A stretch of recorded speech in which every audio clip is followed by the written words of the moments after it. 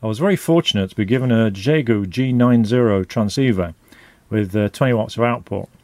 It needs a power supply, so I used a PC one, but that looks a bit junky. So I made a box and put a different power supply uh, under the Xiegu, the same form factor box. Then I found there's a little uh, cup kind of speaker reflector, which is very useful. But then, of course, we all want more power, so I had to make a power uh, amplifier. I think it's 100 watts about max it gives, which uh, has an integrated low pass filter. Then, of course, once you've got an amplifier, you need an antenna tuning unit. So then, of course, then you've got to add in the data modes, and it all gets quite tall. But none of this is any good without an antenna. A simple yet effective antenna is what's known as the inverted V. It's essentially a dipole, which means there are two sides to it, two pieces of wire which are not connected together. Uh, they connect to either side of the coax, one connected to the outer braid, the other one to the inner copper piece. And that needs to go up in the air on your pole as high as you can get with the bottom parts cut to exactly the right length and that will tune it to the band or the frequency that you're interested in. One day while trimming some wires to the right length I had the idea couldn't you make each side a variable length so you could just change the length of it and tune it to whatever frequency you wanted? One way to find out, I built up an inverted V antenna made out of two tape measures, 7.5 metres long each, using some pulleys and some string. Uh, it had a slight downside though, unfortunately.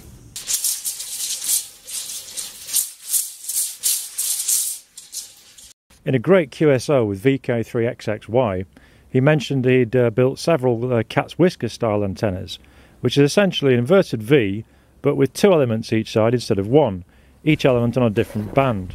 So I thought, what's the difference between that and one of these? Today I'm going to have a go at making this antenna, so what I'm going to need is a bit of wood, about two and a half metres of that pole, lump of aluminium, uh, some of these wheels I found a piece of furniture somewhere in the bins. Pile of these metal pulleys. Chock block. A couple of worm drive motors, uh, I think they're from Amazon possibly, or maybe eBay. And a big pile of fishing wire. It says 38 kilograms, seems quite thin.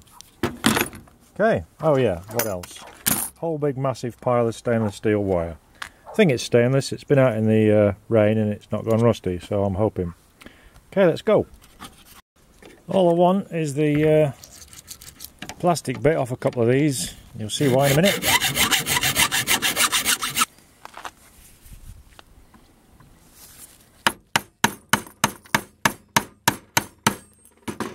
Nothing like brute force. And ignorance. Needs a bigger hammer. Much better.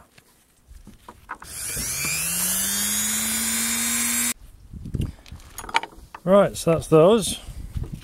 They were the uh, plastic outer parts of these wheels. So he's got to go on there. Need to get a hole in that. Take it down a bit so it can become a pulley. Get the wheel on the end. Do that twice then we're getting somewhere. For those who are not uh, au fait with all these technical terms, this is what's known as a rotary cock-up machine. There is a rotary thing, and in there you put the good stuff, and with this piece and this piece, you cock it up. Just boring a 6mm hole through the cylinder at the moment.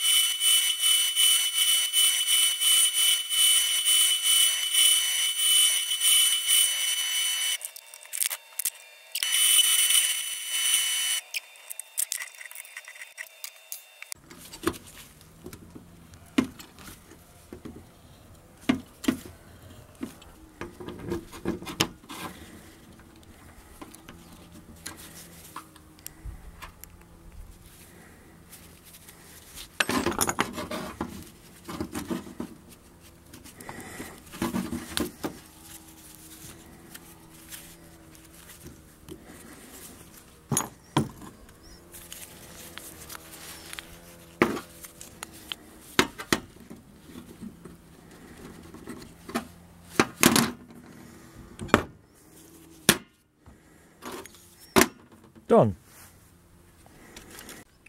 So there's the basic idea. This will serve as the actual antenna.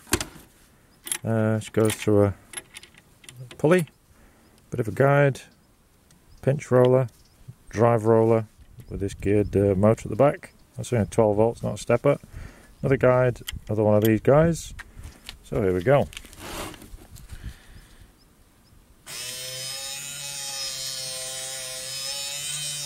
It works! so, there's the finished uh, antenna pole. So you've got the pulleys, guide, motor, pinch roller, guide, and other one. Now I've got to go and get it up there. Because that's the highest point I've got. So, antenna's up. There's a piece of wire around this post. Goes to the first pulley, which is hanging onto the uh, nylon fishing uh, fishing line, which goes up there, where we start to see some cable, right up to the top there, where we've got the pole and the pulleys. The motors didn't work out very well. Uh, one of them broke, and I didn't have a spare one, so I thought, right, I can pull the strings by hand and uh, and move between the bands that way. At least that will prove the idea. And I believe I do have string pulling technology. To move between the bands easily, I marked the fishing uh, line at the various places where it was resonant on each of the bands. This is the range from 5 MHz to 30 MHz with me running from either side of the antenna and pulling the strings out to the next band.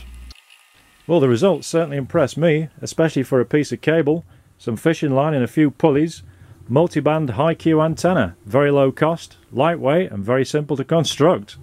Uh, if you've ever seen anything like this before, please let me know down in the comments. Thanks for watching, 73s!